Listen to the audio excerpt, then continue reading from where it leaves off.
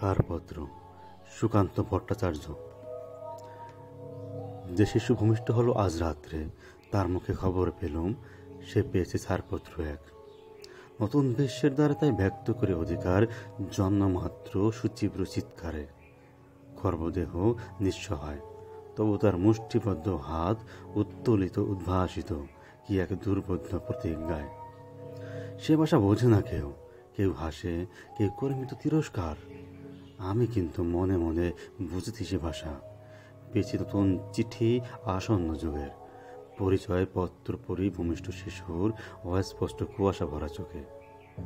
এসেছে নতুন শিশু, তাকে ছেড়ে দিতে হবে স্থান।